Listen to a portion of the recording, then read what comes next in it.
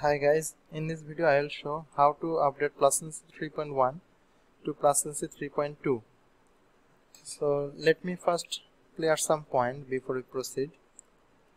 Um, to update PlusAgency, to update to the latest version which is PlusAgency 3.2, you have to be in PlusAgency version 3.1. Any version lower than this will not be able to use our updater Please keep backup of your project files and the database SQL file of your previous version. That means you have to take backup of your version 3.1 project files and the database SQL file which is in your live server currently. If any data is lost during this updating procedure and you face any issue then we can take the responsibility if you didn't take any backup. So please keep backup of your current project files and database. So all the customized code if you have customized any code in your current version then that will be replaced with our updater because we cannot track what has been changed on your end. We can only track on our end. So if you agree with this point then you can use our updater to update the version. So first of all after downloading the update uh, latest files from Envato you will get a zip files named updater 3.1 3.2 dot zip. So after extracting this you will get two more zip file. One is updater dot zip and another is vendor hyphen bootstrap dot zip.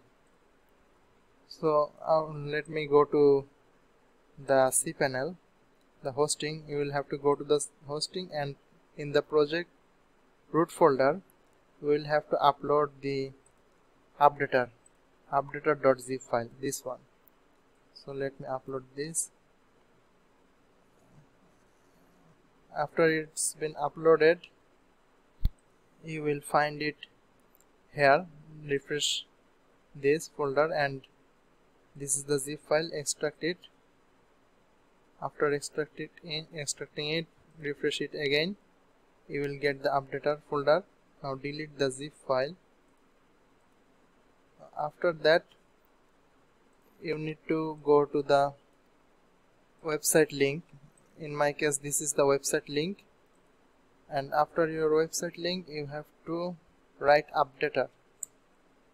Then you will see the interface of the updater. Here we have mentioned all the points we just uh, discussed a little ago. At the starting of this video. So after you upload the updater you need to go to core folder and you have to delete the bootstrap and vendor folder here. And this is the old bootstrap and vendor folder. Now delete this. And we will upload this bootstrap and vendor folder again. And you will find this in this zip file vendor bootstrap.zip so let's upload this here. Please remember it's in the core folder. So upload the vendor bootstrap.zip file. It will take some time. I am pausing this. So you can see the upload is completed. Now go to the core folder and refresh this. You will find the zip file. Now extract it here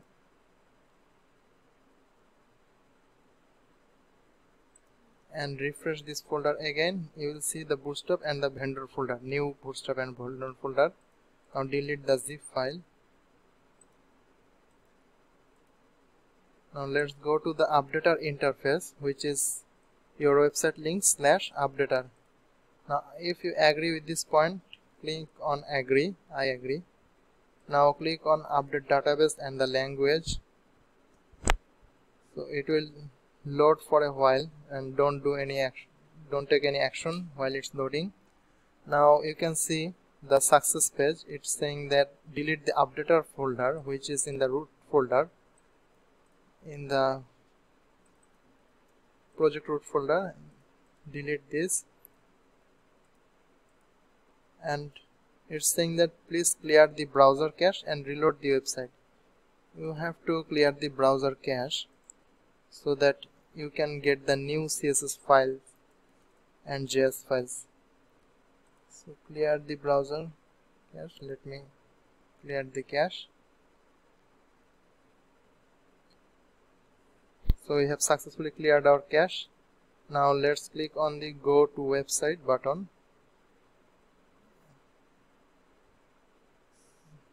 So you can see we have updated it to the 3.2 version and you need to go to admin panel. As we have cleared the cache we are logged out from admin panel.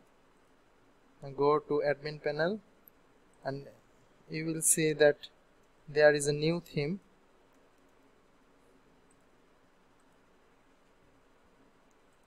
There is a new theme named e-commerce. So this is the proof that you have updated successfully to 3.2 so this is the e-commerce theme. You need to change the base color and some text.